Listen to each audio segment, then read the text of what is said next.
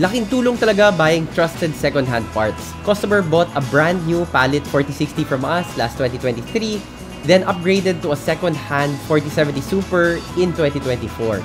This is Parts for Cash, PC Sunday, where we share stories galing sa second-hand list namin. Kung Hardware Sugar customer ka, you can send us any component and we will take care of selling it for you. Lahat inaasikaso namin. Marketing, pagsagot sa mga inquiry, technical questions about the item, demoing the item kung kailangan, lahat. Back to the customer. So nagsimula siya with a brand new 4060 from us, but a year later when he was getting a new build, he saw that we had a second-hand 4070 Super. He bought that second-hand GPU and put his 4060 up for sale.